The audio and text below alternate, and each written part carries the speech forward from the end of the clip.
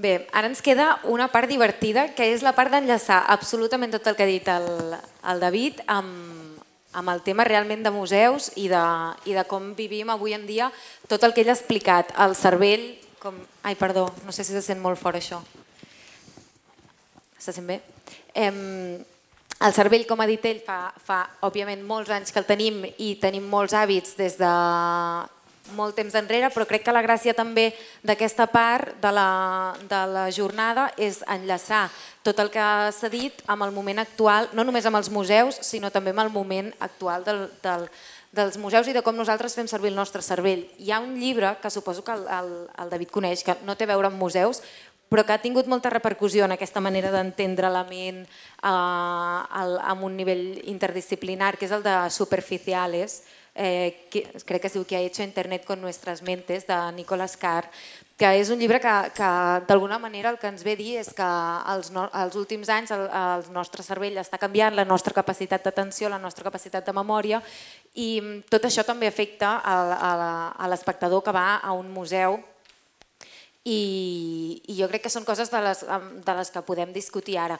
Començarem amb el, amb el Xavier Roger. Ja, us l'han presentat, a, us han fet la presentació al, al principi de la jornada, a més teniu els, els dossiers on hi ha el perfil de cada un i, i a més hi ha Google. Per tant, no perdré gaire temps um, introduint-vos el, el, el Xavier Roger és doctor en Antropologia Social i Cultural i començarà ell fent-nos una petita introducció sobre relacionant-nos al que ha dit el David Bueno amb els museus i després ja començarem amb un, amb un torn de, de preguntes. O sigui que, Xavier, com vulguis. Molt bé, doncs eh, bon dia. Bon, jo per començar volia dir dues coses, però ja no sé si dir-les. Primer volia dir allò, gràcies per haver-me convidat, però clar, llavors dic, hosti, si començo per això no serà gaire estimulant la xerrada. No? No, estic preocupat per aquest tema, però en tot cas tampoc no podia deixar de dir-ho, doncs gràcies per haver convidat i sobretot doncs, per l'ocasió d'estar aquí doncs, amb, amb en David, que ens coneixem d'altres coses molt diferents i jo crec que mai m'havia imaginat que un dia estaríem aquí en una taula rodona per, per les interconnexions aquestes.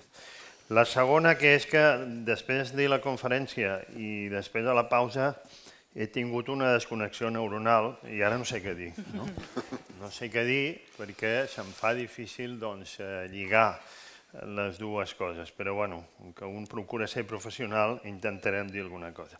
Jo, per començar, només he recollit algunes idees d'ell, i més que les idees que jo després pugui aportar, que també, Eh, jo he recollit aquí com 6 o 7 punts que em semblen, o 8, que em semblen eh, importants el que has dit per lligar una mica doncs, amb el món del, del, dels museus.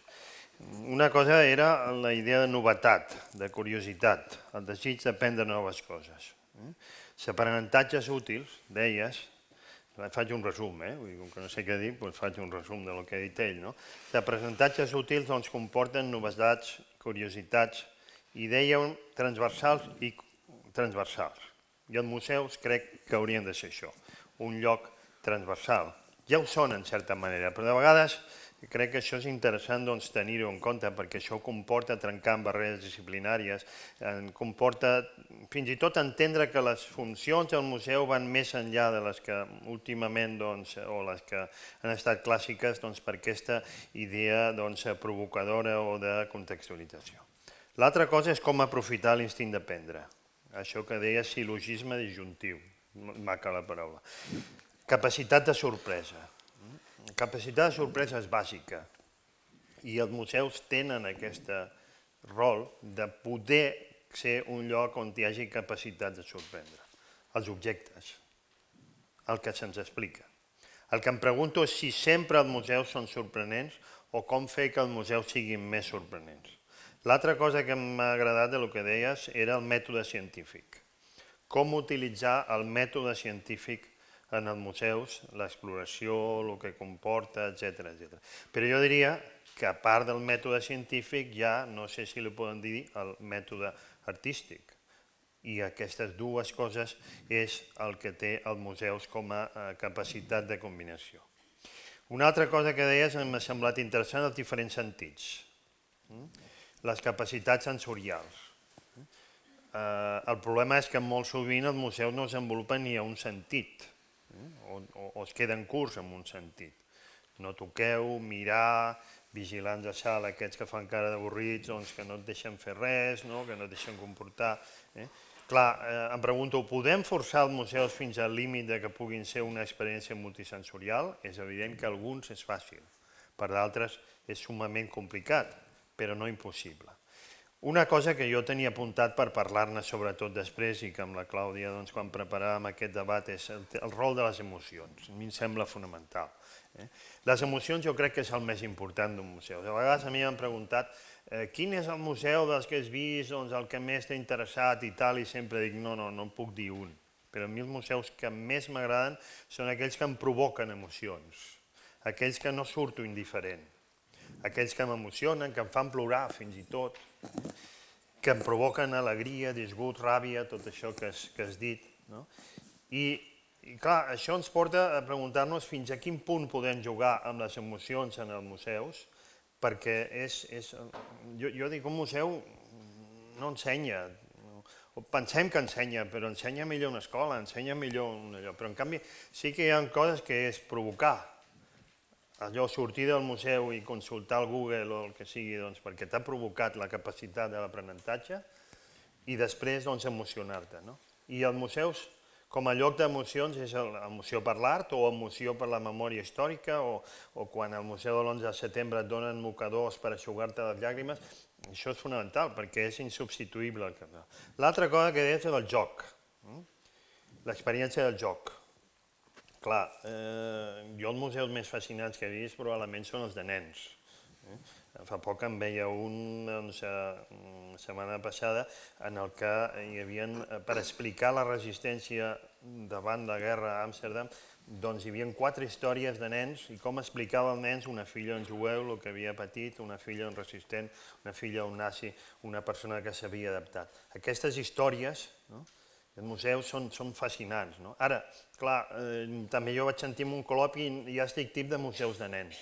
La gent de vegades, el públic, vol o no vol un museu que sigui per tots els públics amb aquesta capacitat del joc. I acabo amb les coses que deies, estímuls. L'estímul és essencial. Tots necessitem estímuls. Per venir aquí hem hagut d'estar sumament estimulat, no sé si hem vingut estimulat o heu vingut doncs, pel cafè, per la pausa o per la... Eh? però cal desvetllar la mandra. No?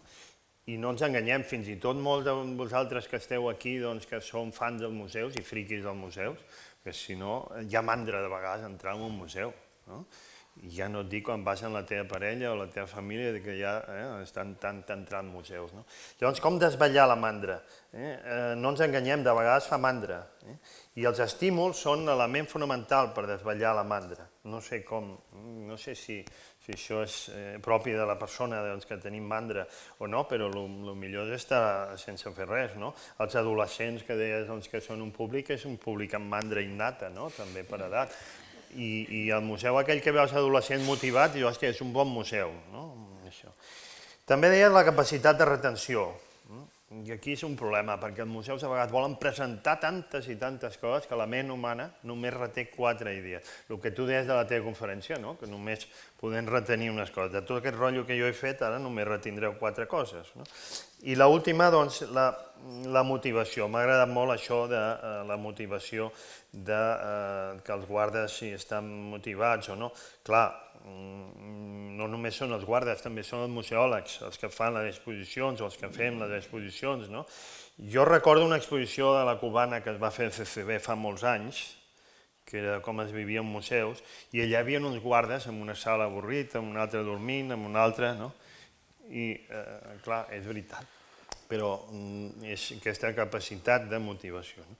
I aquí caldria veure si la professió, en general, els que esteu o estem aquí a la sala estem prou motivats per totes les circumstàncies negatives que també incideixen en el nostre entorn, de tipus econòmic, de tipus pressupostari, de tipus de cuidar, d'interès públic, etc etc.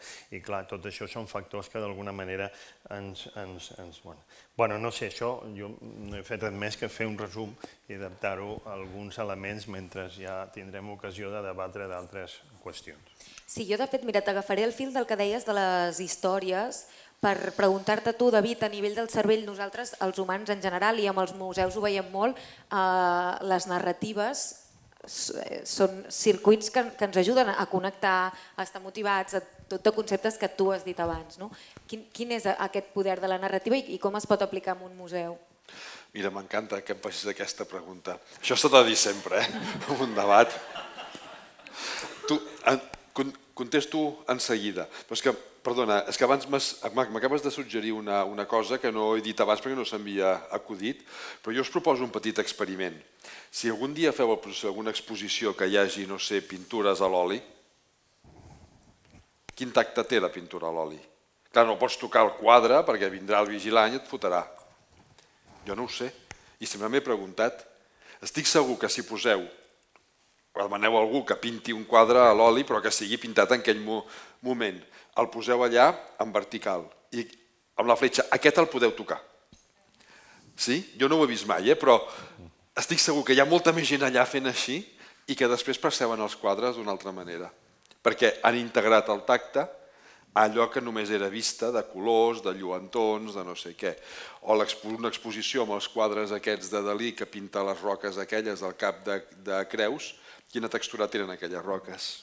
Això són coses que els museus cada cop estan Clar. integrant més, eh? La, la, la sí, sí, sí, però és una idea que, que bueno, penso que va amb tota aquesta línia. El tema aquest de les històries. El cervell humà ha, ha evolucionat per, explicar i per escoltar i explicar històries a nivell ling, lingüístic, si més, si més no. No hi ha res que tingui un poder d'atracció tan gran com una bona història. Però no una història amb dades importants, sinó una història farcida d'anècdotes i curiositats. I això té a veure amb la funció del llenguatge. Llenguatge parlat, però en el fons el, tenim molts més llenguatges, no només tenim el llenguatge parlat, però estan tots molt relacionats dins del cervell. Es, eh, fa molt de temps es plantejava com a espècie per què havíem desenvolupat un llenguatge tan complex. I la hipòtesi que hi havia era per poder-nos explicar coses importants, per poder explicar com fer una destral de pedra o per poder explicar com anar a pescar.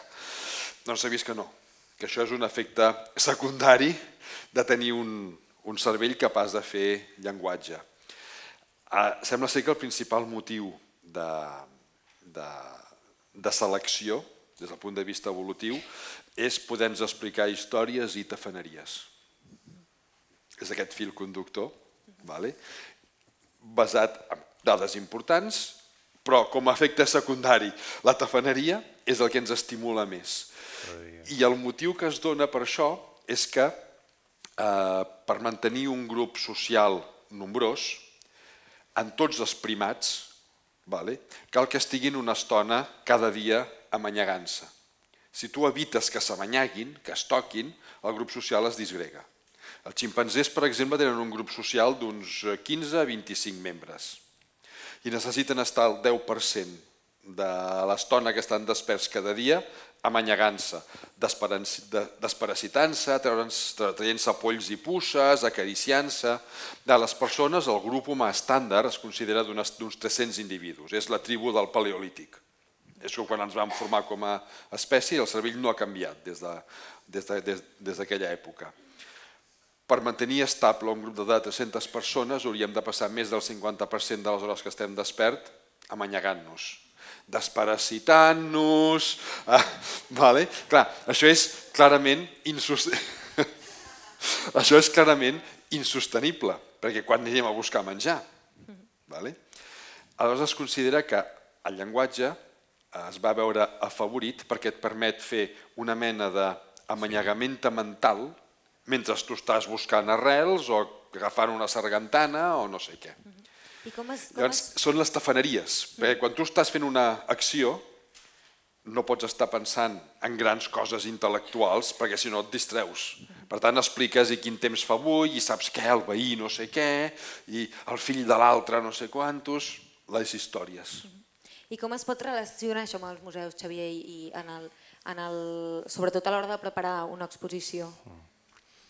Home, el, el llenguatge expositiu té, eh, té una sèrie de característiques específiques però comparteix el mateix que altres mitjans comunicatius, com sigui doncs, eh, des d'una novel·la, sigui un llibre o sigui una pel·lícula, i és que té un relat, no? té una història, una narrativa, no? en, en definitiva. Tornant al principi el que deies de la narrativa, o la sí que no sé com lligar-ho amb un museu, eh, perquè no sé, allà no sé com es podria fer, però bueno, potser sí que, no sé, bueno, no vull dir cap xorrada ara, perquè podria, podria ser massa, no? I, i, i això. Però sí, potser com a lloc d'experiència, bueno, és igual. Uh, però sí que la, la necessitat d'una narrativa, no? I, i, i que, per exemple, doncs, amb, amb memòria, museus de memòria, podem dir, doncs, uh, hi ha hagut doncs, 6 milions de morts a l'Holocaust, o podem explicar la història d'una persona. Llavors, la personalització, molt sovint, aquestes històries, la capacitat d'explicar històries. Per això que dèiem que, que, que, que, que és bàsic, no? que som incapaços doncs, en aquests grans museus doncs, de retenir tantes i tantes coses. Retenim quatre idees fonamentals. I llavors, si hi ha un fil conductor o una història, és, em, em sembla doncs, eh, com a sumament eh, fascinant no? la, la capacitat. De fet, molts museus ja fan això, no? però és el relat. No, o sigui, no l'acumulació d'objectes que era la idea del museu al, al segle, eh, quan es van constituir els museus, no? sinó el Museu Nobel Cousin, que et dona molt poques coses però molt ben presentades no? en, en d'altra manera. I quina relació té això amb la bidireccionalitat que es crea entre el cervell i la cultura. Com pot afectar eh, en el cervell tenir aquest contacte amb la cultura, en, aquest, en el cas que parlem avui, a través d'un museu? Clar, té dos efectes principals i un que els engloba i que és el realment important. Els efectes principals és que ens nodreix d'experiències, de coneixements, i això ens permet després bueno, conèixer millor el nostre entorn o poder relacionar-nos d'una manera més rica amb el nostre entorn. L'altre és que si genera preguntes, clar, si només mostra i prou, no genera preguntes, però si genera preguntes, eh, t'està potenciant aquesta flexibilitat, que és el que després et permet eh, bueno, afrontar qualsevol altre problema amb més capacitat d'èxit, simplement perquè has treballat aquesta flexibilitat flexibilitat.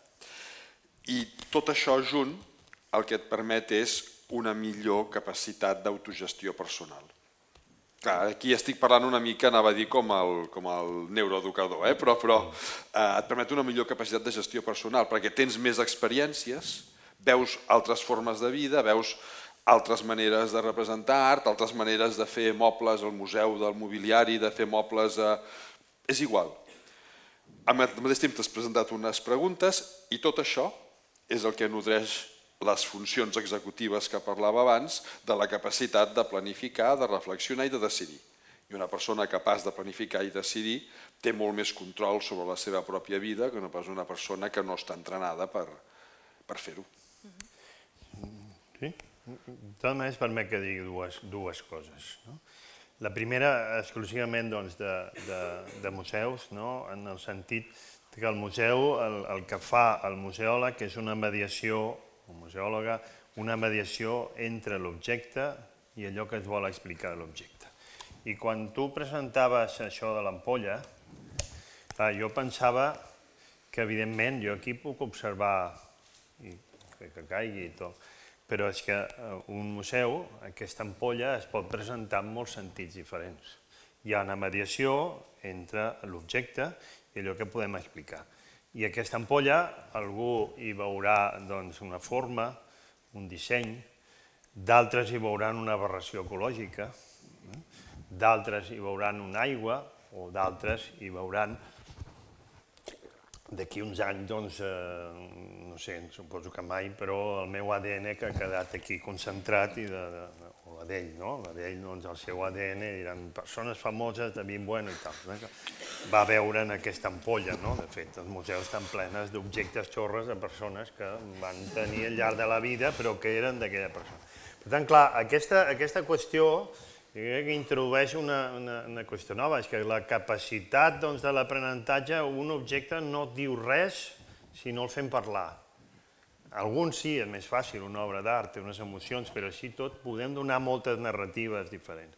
I això jo que em sembla que és important perquè l'objecte és un abocador de memòria, l'objecte ens pot fer recordar, però eh, eh, ja no, no tothom igual.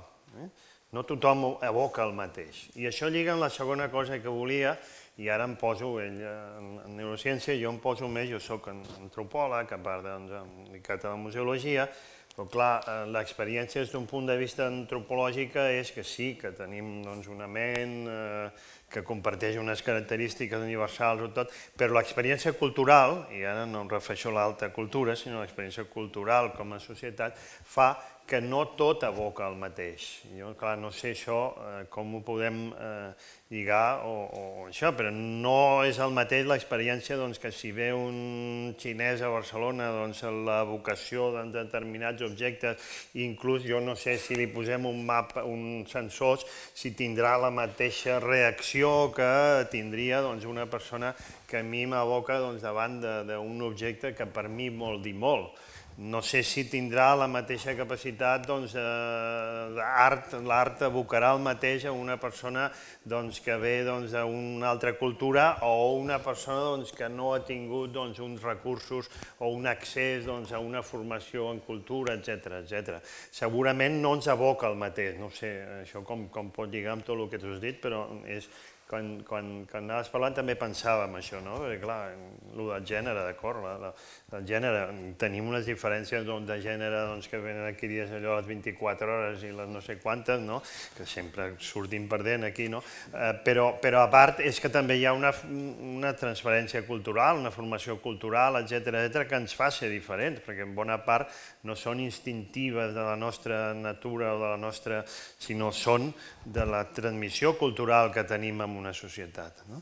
Llavors, això dels museus és, és, és important perquè, clar, no tots els públics poden reaccionar de la mateixa manera en funció del bagatge cultural que portin, de la seva cultura d'origen i de la seva cultura en els dos sentits de la, de la paraula. No? Bueno, no, no sé això com, com, com lliga, no? però no sé fins a quin punt el pensament humà és eh, el resultat, doncs, de, de, és una cosa que jo crec que tampoc no ens hem posat d'acord els científics eh, a mesura que analitzem, no? si el pensament va venir després de la cultura o la cultura com va alterar el pensament humà. No?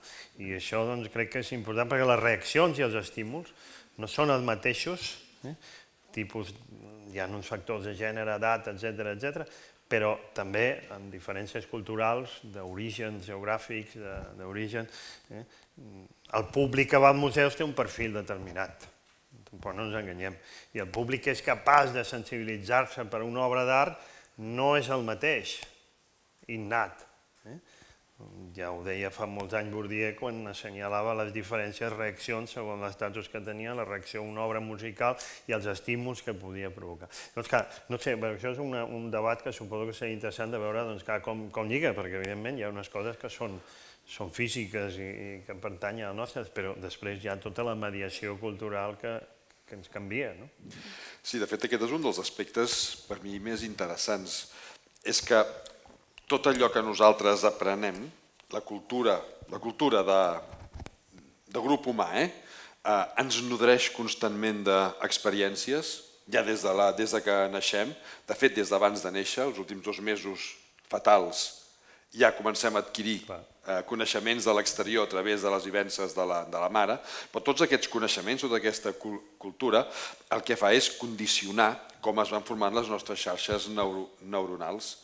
Eh, una persona s'ha vist, per exemple, que un infant que visqui en un ambient d'alta conflictivitat té una estructura neuronal lleugerament diferent que un infant que, que visqui en un ambient de relativa estabilitat i això el fa ser molt més impulsiu.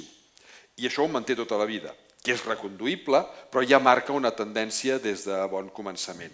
Clar, totes les experiències eh, ens provoquen connexions neuronals i la nostra vida mental depèn d'aquestes connexions neuronals. Per tant, el fet d'adquirir coneixements i com adquirim coneixements de la manera que sigui, estan condicionant com serà la nostra vida mental, com ens percebrem a nosaltres mateixos, com percebrem el nostre entorn, com ens hi relacionarem.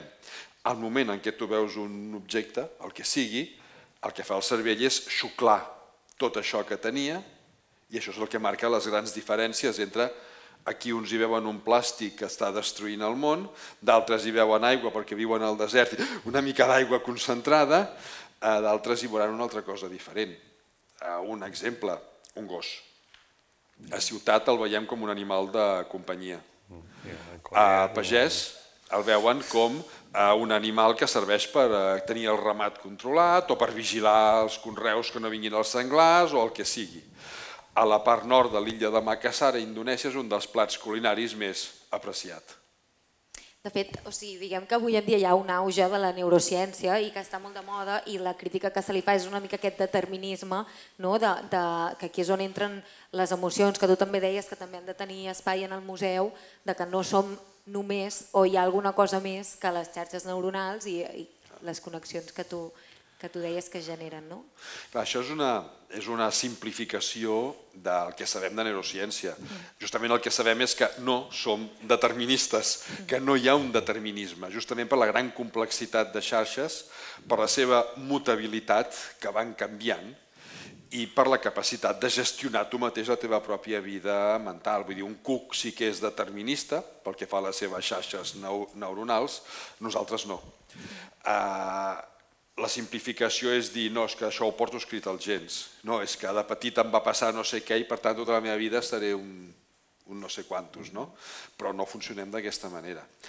La qual cosa no vol dir que no hi hagi persones que per l'educació que han rebut o per condicionants genètics estiguin més o menys predisposades amb més o menys probabilitat de que els agradi una cosa o una altra, de que tinguin més paciència per mirar les 20 sales d'un museu o que amb dues ja s'hagin cansat, però és una predisposició. Si tu trobes l'element de motivació, tothom mira les 20 sales. Si trobes el seu element, el d'aquella persona en concret, però això de cada persona és diferent. Clar.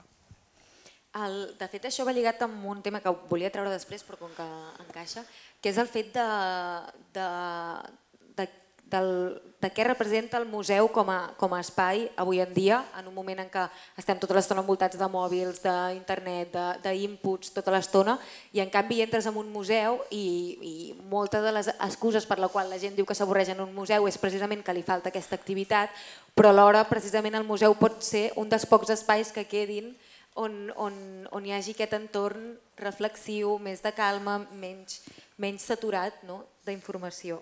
I això pot afectar el cervell i com nosaltres visitem el museu. Mm -hmm. Pues clar, evidentment, o sigui, uh, un, això que deia els estímuls. Primer, per entrar al museu cal uns estímuls, encara que només sigui per marcar la creueta. Museus és allò que diuen que no anem a veure la nostra ciutat o el nostre poble i anem a, primer que anem a veure quan anem de viatge. No? I encara que només sigui per marcar, perquè la guia t'ho diu, doncs ja, ja és un estímul. No? Molta gent va per això. Per, per, no? Però, eh, clar, a dintre és, després, siguin quins siguin els estímuls que et porten a entrar a un museu i, i trencar la barrera d'aquesta doncs, vèncer, aquesta mandra doncs, que a vegades pot ser un museu, perquè a vegades també és una carrera d'obstacles, fer una cua d'entrada, molta gent, etc etc. No? O perquè s'està més bé a la muntanya prenent el sol, o un carrer, o un bar, etc etc. I això Però després, doncs, clar, què és el, el, museu que ens, que ens aporta o com és capaç d'estimular-nos de, en, la nostra, en la nostra vida eh, quotidiana. No? Que el museu, el, el que té avantatge, el museu, abans a la pausa parlàvem eh, sobre aquest tema polèmic de la, de la definició del museu. No? Llavors, clar, no sabem molt bé què és el museu i com tampoc no ho sap i per tant, doncs, eh, aquí que som menys més, eh, més baixes, no, eh, no podem tampoc saber-ho. No? però un mm, museu s'ha dit que era un lloc que conserva, però bueno, conserva més bé un magatzem, un lloc que ensenya, però bé, és un lloc que ensenya més bé l'escola o això, perquè estan més preparats. Eh, un museu com un lloc doncs, eh, de comunicació, però comunica molt més bé avui en dia un bon vídeo, un, un, això, eh? les funcions clàssiques doncs, que s'han dit al museu. Però sí que el museu té una cosa que no té enlloc més, i és la capacitat de lligar tots aquests elements. Això és la gràcia la virtualitat i l'element d'un museu. No? Llavors, que el museu el que no pot és competir en mostrar moltíssims coneixements. Ha de simplificar-los, cosa molt difícil, simplificar, ha d'emocionar, etc etc. No? I això és una mica doncs, que al marge de les motivacions que cadascú tinguin, el que aporta un museu. No? I llavors, clar, coneixent la ment, doncs, eh, jo, no? jo, volia, jo, jo volia, aprofitant ara això, perquè, eh, o, o potser després surti, no sé, però sí que hi ha un tema que, que a mi també m'interessa molt i crec que en, en David eh, em podria aportar-nos qüestions al, al respecte. No? I és com la, la, determinats experiments de neurociència ens permeten veure elements eh, objectivitzables de les reaccions que té el públic enfront d'un museu. Si posem una sèrie de sensors, eh, la sudoració, les capacitats, doncs aquí, l'atrapabilitat d'una sala, eh, si ens interessa més una obra, allà on van, etc etc, això, no? Doncs que aquí que s'obre una, una porta o una via, amb experiments d'aquest tipus, perquè nosaltres, els que, les persones que concebeixen exposicions, que concebeixen un museu, puguin mesurar d'una forma no a través d'aproximacions doncs, sempre subjectives en impacte, etc etc, sinó aproximacions doncs, eh, amb, amb sensors, que, que són relativament fàcils avui en dia d'experimentació, no? I jo he vist mapes, eh, llegint articles i tal, de mapes doncs, que et parlen doncs, la trepabilitat, si la gent es fixa en un lloc, si es fixa en un altre, eh, si l'emociona, si la part del cervell de no sé què, que jo no tinc ni idea quina part del cervell és la que eh, reacciona d'una manera o una altra. No? Llavors, clar, això eh, jo, mm, és molt interessant perquè, a més a més, hi ha una porta nova i és que l'internet del futur són els sensors, no? els mòbils ja estan caducs, són els sensors que portem eh, aquí que ens mesuren no només les pulsacions sinó l'electro i ens poden mesurar la tira de coses i quan tinguem roba i tal. No? Doncs, eh, bueno, les dues preguntes, perdona, eh, però no, no, no. Eh, em semblaven, no? Eh, eh, què ens pot aportar els estudis de neurociència per conèixer objectivament perquè els museòlegs puguin actuar una mica com els cirurgians, amb dades molt objectives, no per sensacions, sinó per dades objectives, dir, bueno, aquesta sala està mal dissenyada perquè ningú li ha provocat res en el cervell, no? Eh, o aquesta sala, o, o la gent ha passat de llarg, no? no sé. la I la segona, de cara al futur, no? clar, com, com aquesta monitorització que, que tindrem, no? com ho veieu des de neurociència i com creus que això també ho podríem aprofitar en el museu? A veure, honestament, eh, jo no he llegit cap article que analitzi com s'activa el cervell en funció d'una disposició museística o d'una altra. Potser n'hi ha, eh? Sí, Segur sí, que n'hi deu haver perquè hi ha moltíssima cosa feta. Jo no, no, no, sí, no ho he buscat mai. perquè jo com que tenia por això Però... que em desconnectés avui vaig buscar-ho ahir, eh? no perquè això.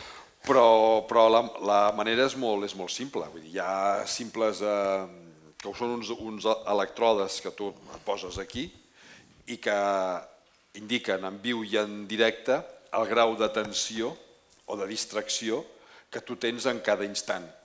Això, amb una càmera que filmi què estàs mirant tu o què estàs en aquell moment fent, i permet veure perfectament bé què, què t'està estimulant o què no t'està estimulant. Algunes de les poques proves que jo conec, per exemple, demostren que el fet d'entrar en un museu enorme i no eh, sense un fil conductor, el primer pensament és de desconnexió.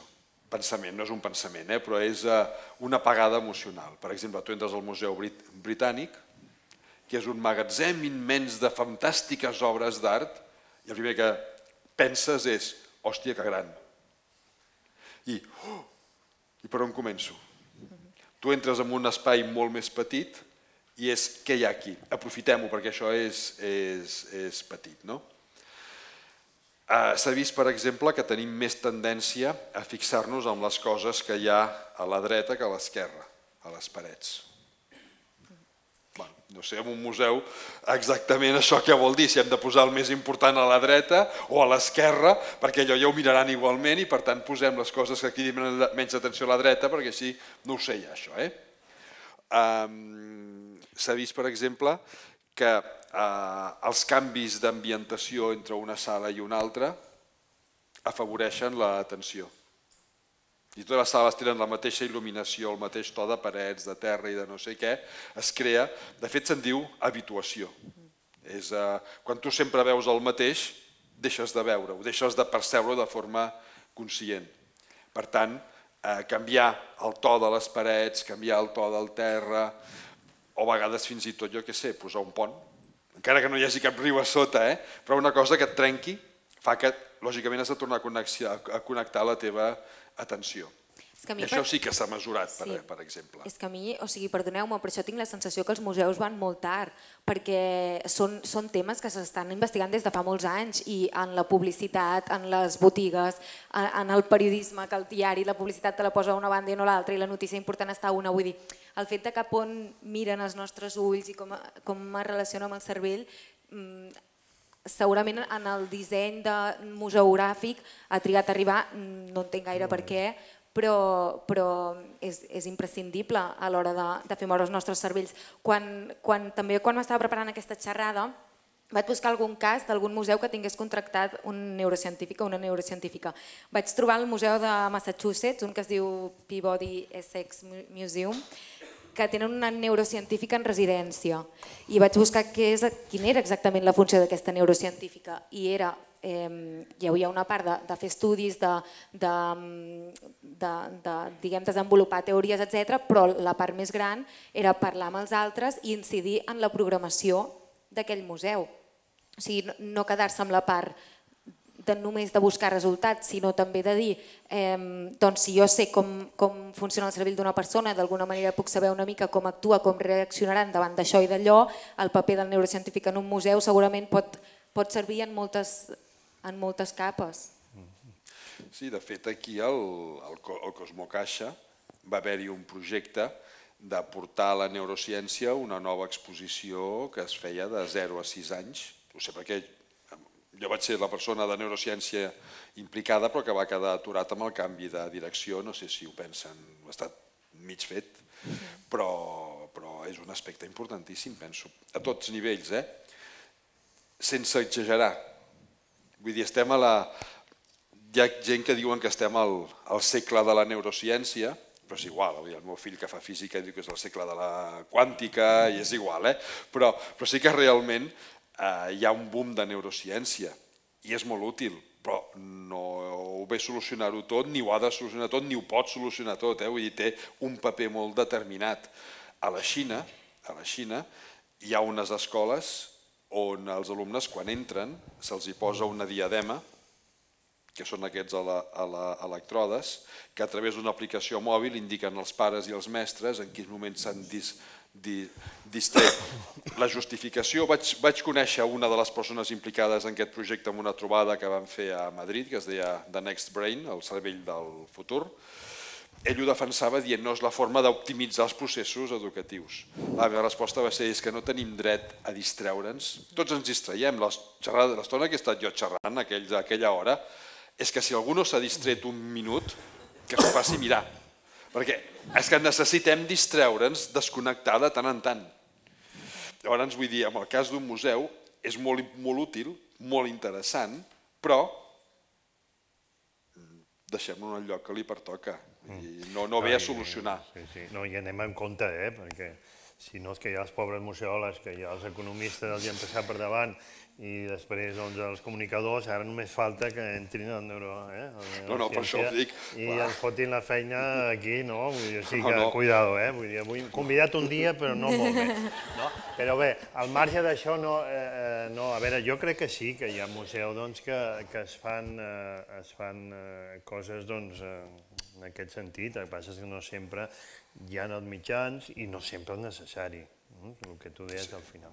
Però hi ha un camp que sí que crec que hi ha una col·laboració intensa i que fins ara és un tema que no ha sortit, però que els museus és, és la, una de les transformacions que viuen els museus és com un espai curatiu, com un espai de salut, no?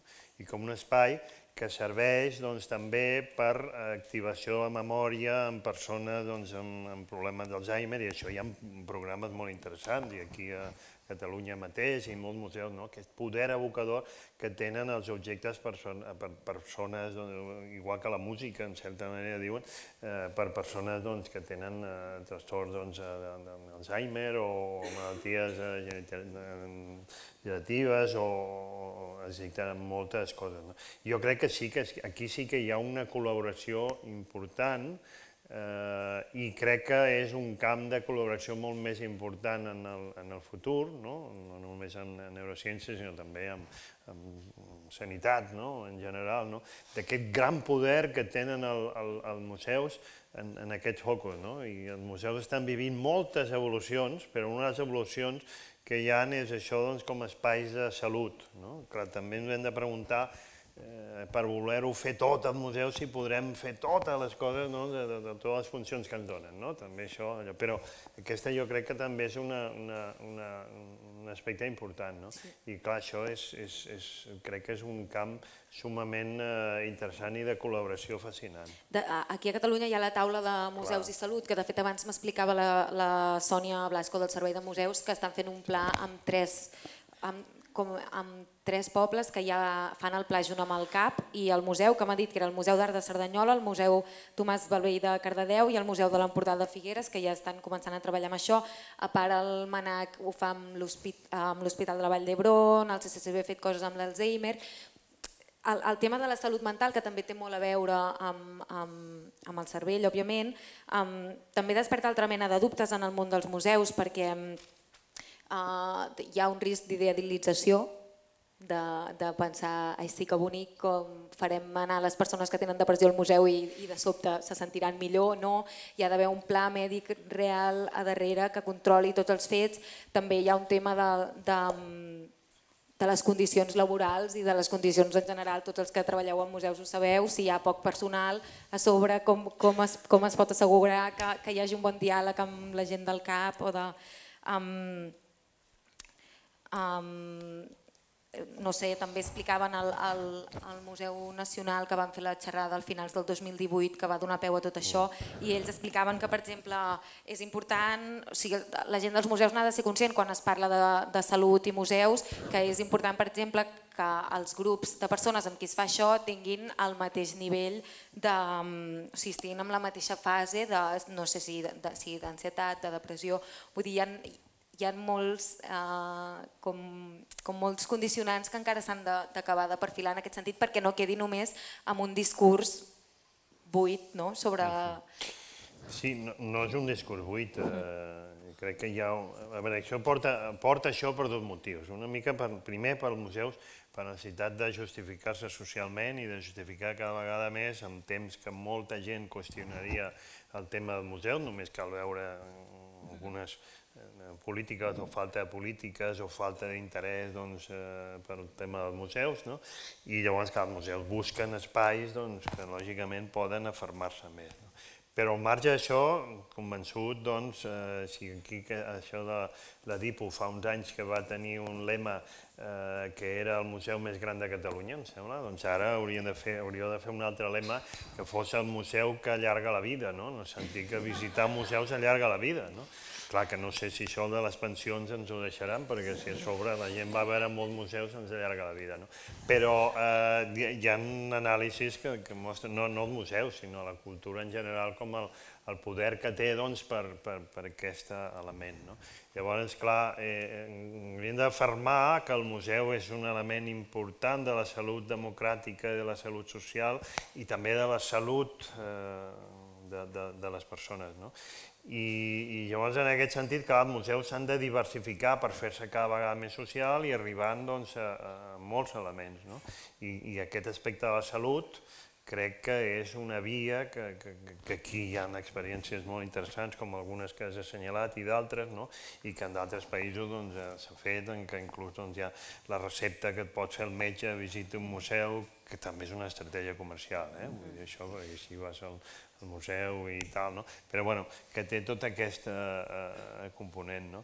Però és que eh, és veritat, jo he vist alguna visita amb... amb sí, a veure, uh, un objecte, que és que un objecte és un activador de memòria.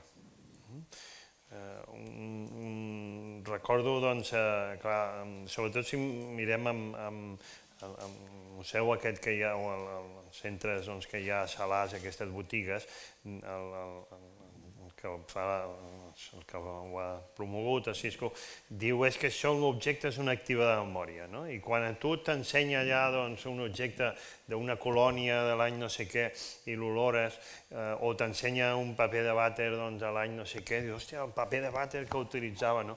Activa múltiples coses, no? El problema és que no activa a tothom pel mateix segons les experiències que has viscut, no? Clar, si això actua en persones normals, com no farem en persones que tenen doncs, eh, problemes. No? I clar, jo crec que també eh, és un, un, un tema doncs, que els museus s'estan eh, plantejant eh, per aquest doble motiu de funció social i també doncs, per diversificar públics i aconseguir noves estratègies, etc. També perquè cada vegada hi ha menys nens i hi ha més persones grans i també hem de, de pensar-ho doncs, en, en accions doncs, en, en, persones grans, que són un dels que més visiten, els sectors que més visiten els, els museus, el que més ens fallen són els joves.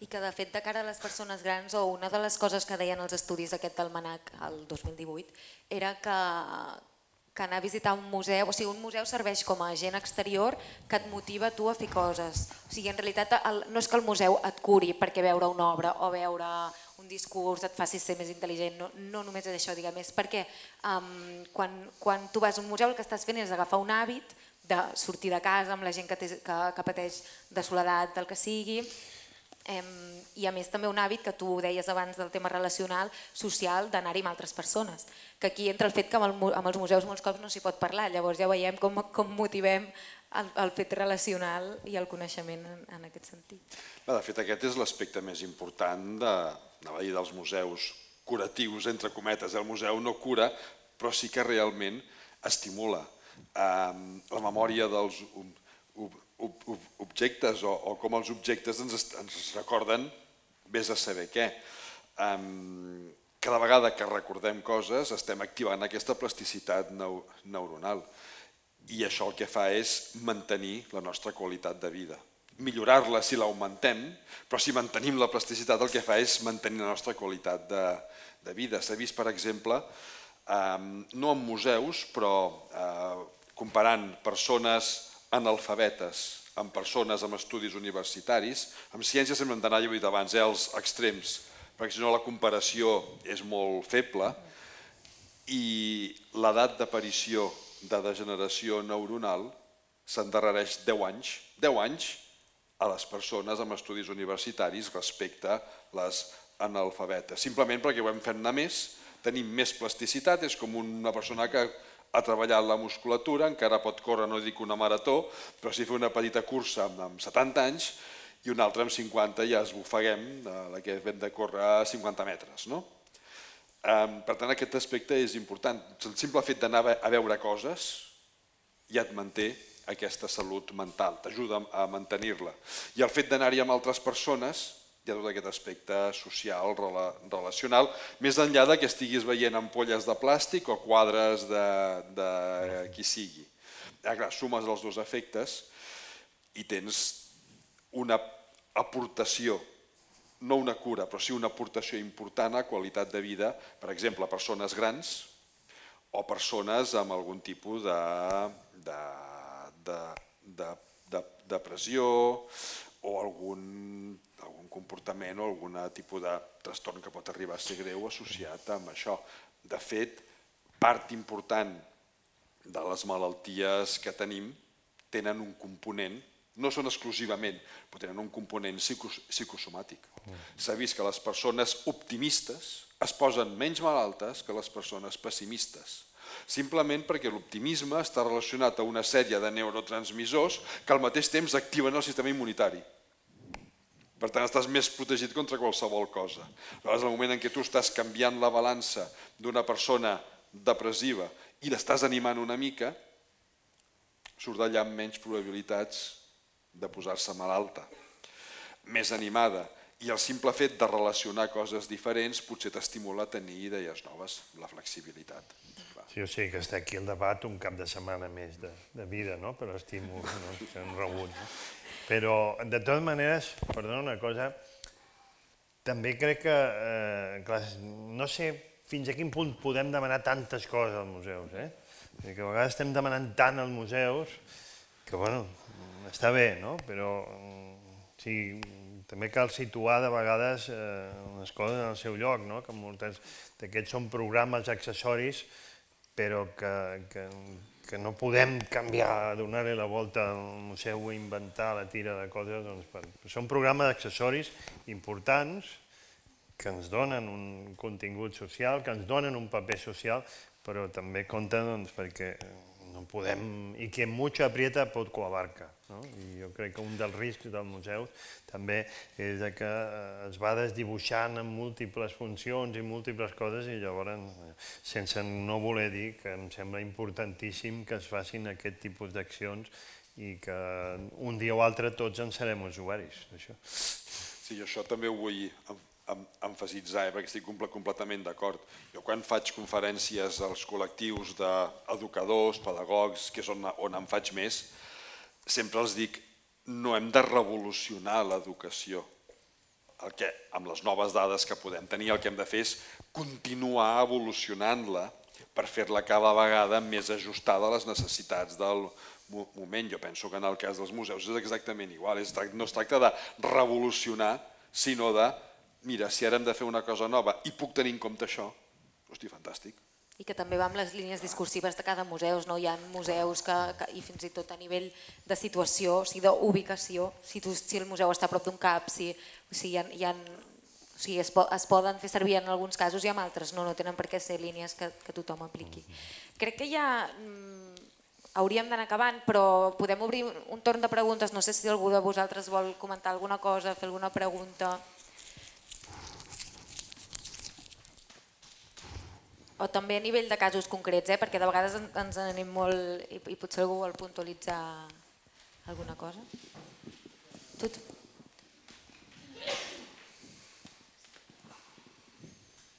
Funciona? Hola.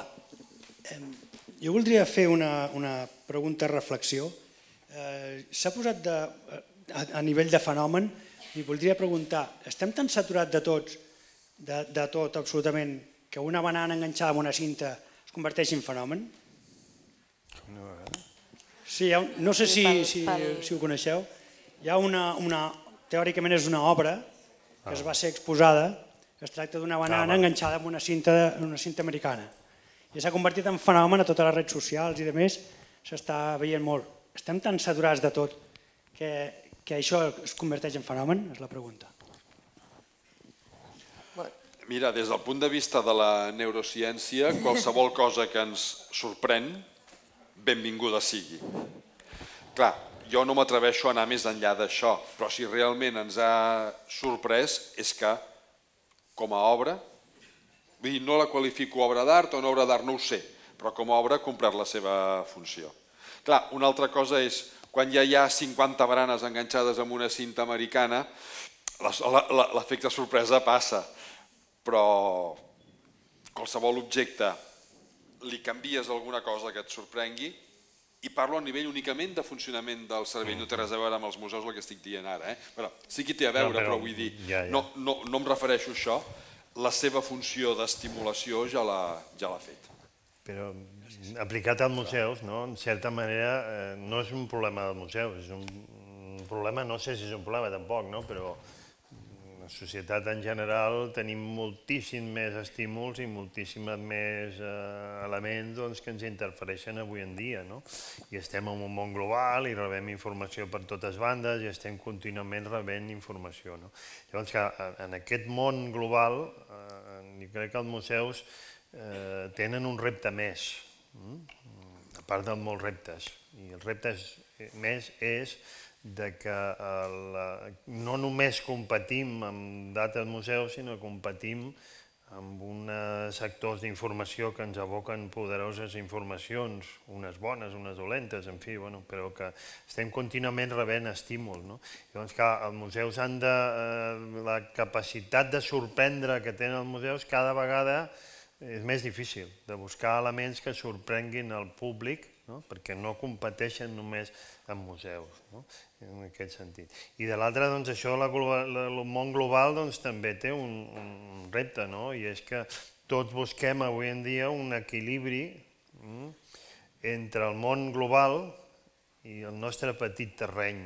I aquest és el que ens fa ser definius del que som avui en dia tots volem estar connectats en les xarxes i visitar museus de por ahí i veure les últimes i veure el que hi ha, però també volem molt el nostre petit món, el nostre petit món de la identitat. I amb aquest equilibri, imagineu que una és una pota i una altra, és el que ens fa funcionar. Per tant, clar, capacitat de sorpresa sí, eh? Capacitat, però amb aquesta interconnexió. No sé si és perquè jo veig el món d'una manera optimista i així viuré uns quants anys més, no sé, eh? entre venir aquí uns anys més, doncs avui he guanyat molt, però eh, eh, jo crec que el, tenim una competència ferotge de múltiples coses i múltiples elements d'informació, no? però això si ho sabem aprofitar també és, és bo doncs, en aquest sentit. Tot i que a vegades costa cada vegada més un museu sorprendre amb allò que exposa, amb allò que fa, amb allò que explica, costa molt més de, eh, de sorprendre.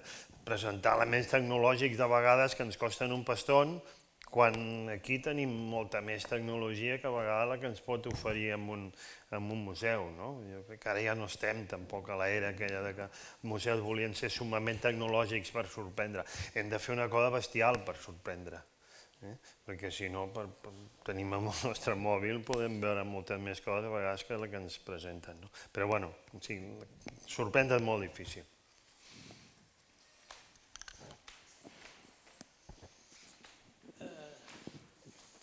Sí, jo, en, en relació amb aquesta última intervenció i amb un tema que ha sortit, que és el de si el museu eh, presenta un relat eh, i uns discursos i tal.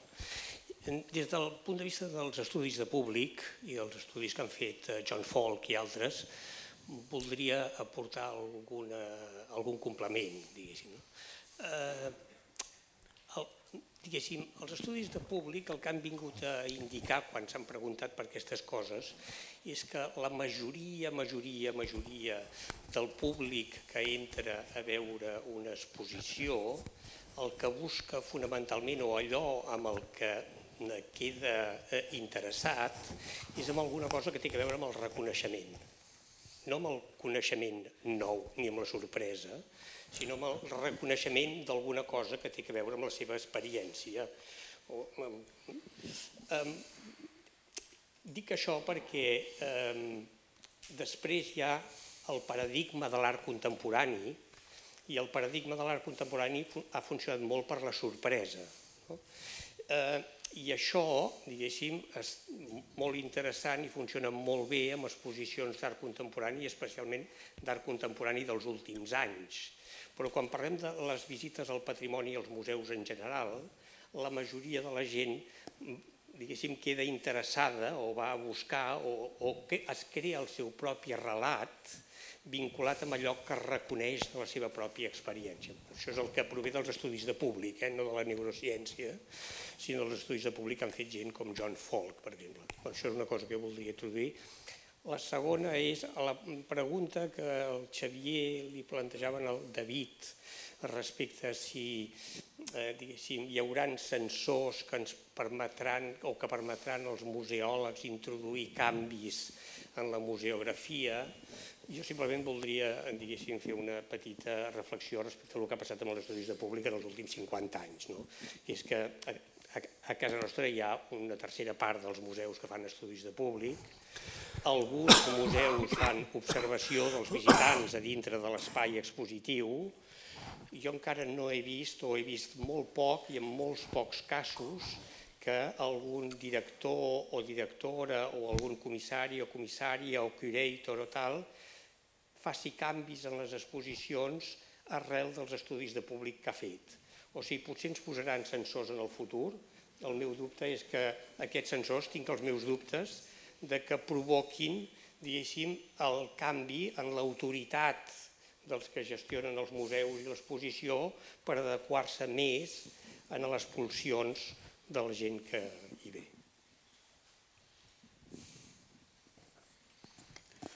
Bueno, jo diria respecte a la primera part de, de la teva intervenció, um, moltes vegades la sorpresa se la genera un mateix, és a dir, sí que tu pots generar-la a través d'una barana amb una cinta o com sigui, però simplement un relat o el relat que tu et fas, com que tot allò que tu estàs veient necessàriament no pots evitar-ho, el teu cervell xucla, el que tu ja saps sobre allò, les experiències prèvies, al moment en què hi encaixa o hi contrasta, aquí ja tens aquesta espurna, la paraula és metafòrica, eh? però vull dir aquest inici de, de curiositat, de sorpresa, encara que sigui per refermar-te, però que bé que em sento, o encara que sigui per dir, ostres, va contra el que jo...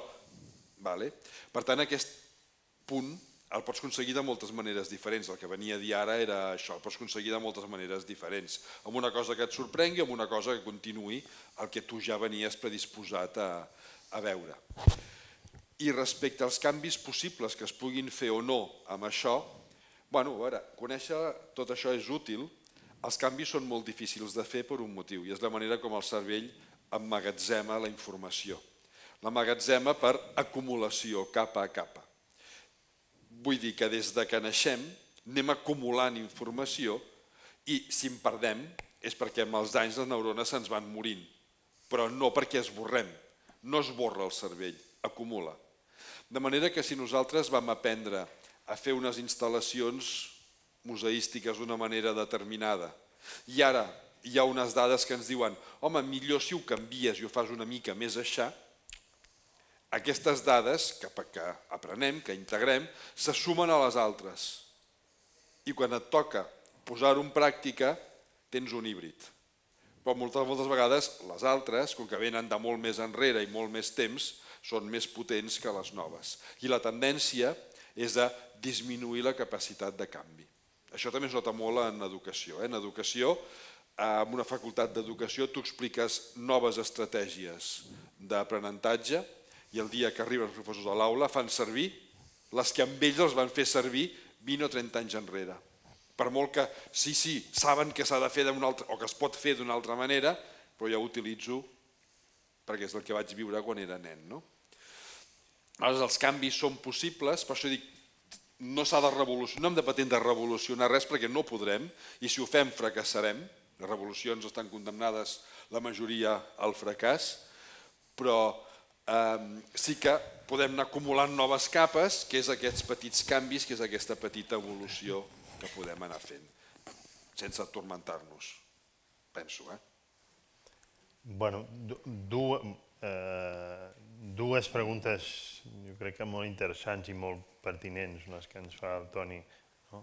La primera, evidentment, un museu, el públic, bueno, tu, com ho has explicat, no? el públic recorda molt, poques coses d'una visita i la capacitat d'una narrativa o una història funciona molt bé. No? Inclús hi ha, eh, has dit una cosa que, que, que és interessant, és la, la que t'interpel·li amb un, no sé si és això el que deies, la paraula exacta. Eh, com? Reconeixement. Reconeixement, o sigui, el reconeixement, no? reconeixement teu, no? que et reconeixes alguna cosa. No? I jo he vist alguns museus, i més en concret un que hi ha sobre la Primera Guerra Mundial doncs, a, a Bèlgica, eh, Ypres, o Yepes, depèn, eh, que et posen una pulsera magnètica tu dius les teves dades i llavors l'exposició s'adapta a, a tu. Eh? segons el país que vens, les històries de les persones que et surten, dels que van lluitar a la Primera Guerra Mundial, etc etc. No? Doncs que això és, és costós en termes tecnològics, però va una mica en la línia que és del, del reconeixement. No? I de fer-te preguntes, no? això és una tècnica molt més simple, no? interrogar-te com reaccionaries tu en determinada cosa, eh? com series en aquesta situació d'un conflicte, com veus això, no? preguntar-te, no? la, la idea de museu participatiu doncs, que ja és, és molt d'allò, però clar, eh, una mica doncs, aquesta d'una línia. I en quant a lo dels estudis de públic, clar, jo quan llegia aquest article pensava en tu precisament, dic, hosti, pobre Antoni es quedarà sense feina perquè vindrà els de neurociència i faran sensors i no podrà fer les enquestes i aquestes coses doncs, que, que es fan a estudis de públic. A veure, és una altra manera d'evolucionar també els estudis de públic però jo no diria que eh, és, és cert, vull dir, la major part de, de, de vegades els estudis de públic la gent no, no els acaba de, de considerar i així van moltes coses perquè s'haurien de considerar molt més perquè en reaccions, eh, estímuls, etc. El que passa és que també la fascinació que provoquen fenòmens aquests, eh, científics, no fenòmens, sinó tècniques aquestes, també fa que de vegades eh, eh, alguns, a lo millor uns directors o directores o polítics quedin fascinats amb coses d'aquestes. Cuidado. Eh? I d'altra banda, eh, perquè clar, estem a les portes d'uns canvis socials tan impressionants eh, que no podem encara acabar de mesurar com seran aquests canvis, no? però ningú hagués pensat que fa uns anys, doncs, eh, quan moltes vegades vas a veure en una ciutat eh, eh, quins museus són més interessants, et miris les cròniques per internet del TripAdvisor a veure quan estan qualificats, etc. Això fa uns anys era impensable i ara hi ha molts museus que posen a la porta la qualificació que tenen en, en, en això, igual que els hotels. No? I no sé si els afecta o no, però jo he vist molts que contesten el, les crítiques o comentaris i per tant doncs, s'està entrant en aquesta ona. No? I, clar, I quan d'aquí, amb això del 5G i tot, eh, estiguem doncs, permanentment connectats amb sensors i no només ara es veu amb el museu la gent on va i on fa més fotos a les xarxes socials, etc etc. I, i, i tenen a veure amb... Hi ha museus que, que, que estan molt preocupats amb aquest tema. No, no tots, i probablement, doncs, no sé si aquí o tal, tu ho coneixes molt més, però hi ha molts que estan molt preocupats pels comentaris que els hi fan, pel nombre de fotos que els hi pugen, per la participació, etc. No? I quan estiguem ja connectats amb sensors del tot, perquè ho estarem d'aquí molt pocs anys, eh? Eh, i sàpiguen les pulsacions que ens provoca veure una determinada obra o etc Eh? Eh, no sé si això serà una bona vida o no, perquè estarem hiperconnectats amb moltes coses, però no sé, eh? no, sé, no m'atreveixo a dir si em faran cas o no d'aquí 10 anys, però probablement hi ha moltes coses que han de canviar en, tecnologia i, i, aquesta hiperconnexió que tots tindrem, doncs, eh, no sé, eh? però eh, vull dir que no ho sé, simplement és que el futur no, no, afortunadament no el sabem. Eh? No sé si algú vol fer una última pregunta o si fem la última val? I, i donem per acabat.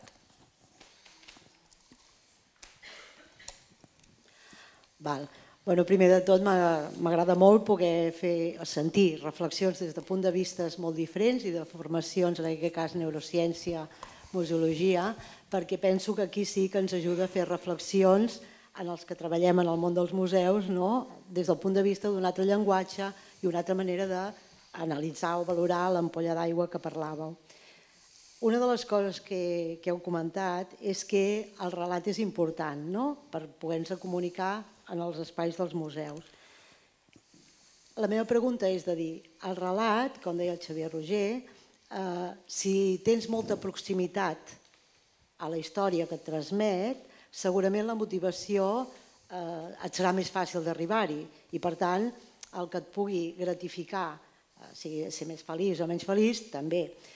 La meva pregunta és, en aquests moments, eh, que lo local o lo pròxim pot ser el que més ens motiva o més ens ho fa fàcil, amb un món tan globalitzat i parlant no, de les noves tecnologies, d'internet i de la facilitat no, que tenim de conèixer, o sigui, el coneixement s'ha fet pròxim, aquell que era desconegut, o exòtic, amb, amb l'exemple que has posat no, de, de l'objecte doncs, que seria d'una cultura per nosaltres totalment exòtica. En aquest moment ens pot ajudar a conèixer o a establir quina seria la forma d'articular relats en els que la part més emocional o directa fos més compartida. La meva pregunta és, ens pot ajudar aquest món de la globalització a trobar la forma en què el museu explica aquell relat, aquella història, amb els elements o, o llenguatge o la, la pregunta o l'anècdota la, que ens sigui més compartida, tant si vens del Japó o d'Indonèsia o de la Catalunya catalana, ens fa més propers, com deia el Xavier, a la pulsera no? que et situa en el país. Bueno, és possible crear relats a partir d'històries o de conceptes que ja, gràcies a la globalització, ens hi acosta més? Jo crec que és molt complicat. A veure, ens pot ajudar a acostar-nos-hi una mica més, potser sí, no ho sé. però arribar a uns relats que siguin compartits per tothom jo crec que és impossible i si algun dia fos possible és que hem anat molt malament perquè s'han perdut les cultures lo, lo, locals en favor d'una cultura universal que pot ser la de Hollywood o pot ser la de Beijing, no ho sé, vale?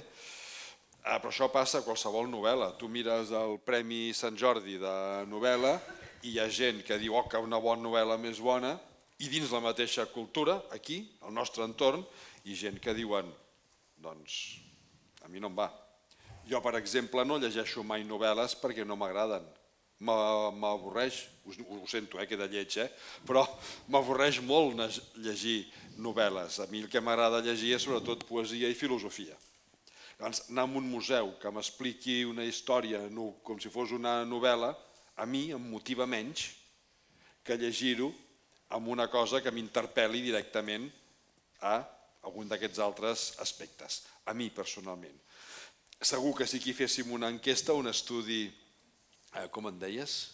De públic. De públic, doncs del públic que esteu aquí respecte a les nostres intervencions, respecte a la meva conferència, segur que les percepcions ja serien diferents, perquè tots partim de substrats diferents.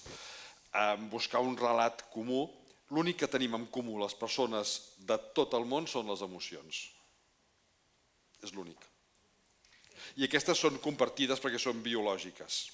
Aquí sí que culturalment les podem camuflar. Però l'emoció bàsica és preconscient i és biològica. Llavors aquest és el llenguatge uni universal. Per això només mirem, quan anem a una cultura nova, el que primer que fem és mirar quina cara fa aquella, aquella gent.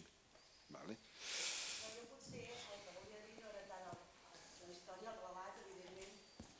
Sí, millor que... O sigui, el relat no és que jo hagi d'explicar una història, eh? sinó jo crec que us, la pregunta era de dir els elements que jo utilitzaré poden plantejar el que jo em faci una reflexió i que en el meu cas me la faré entorn del meu bagatge o experiència o, o història de vida personal, però aquell mateix element, com que tenim molts coneixements o tenim un coneixement molt més ampli, potser ens permet arribar a que molta gent diferent fem reflexions diferents. Jo ara també penso que el relat mai pot ser una moraleja, com era abans, no? per entendre's, ha de ser que em permeti qüestions a l'aire i que jo me pugui no? participar amb el meu bagatge per crear el meu propi relat, no? que és el que realment em motivarà. La meva pregunta era, com el del plàtano, no? que li té ell, és de dir, alguns elements, amb, com que tenim aquesta informació tan propera de, de llocs tan llunyans, em pot ser útil el plàtano amb la cinta americana per començar a fer, més que relats, qüestionaments que ens permetin relats. Aquesta era una mica la meva pregunta. Dues coses, i ben diferents. No, no sé si començar per una o l'altra. Començo per la primera, per la segona.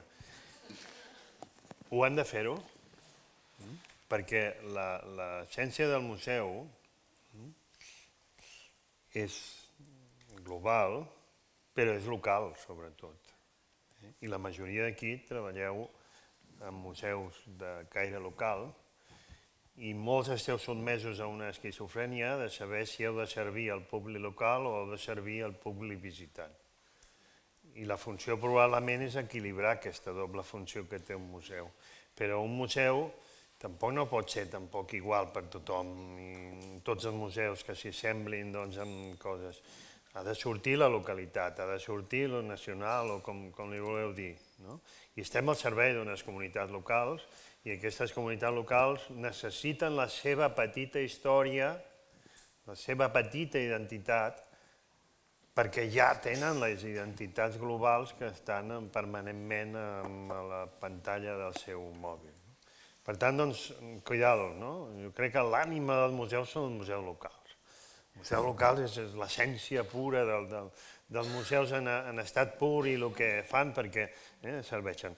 Evidentment, amb aquesta dificultat que tots teniu de dir que ens volen que portem públic de fora, que volen que siguem molt modernets, etc etc.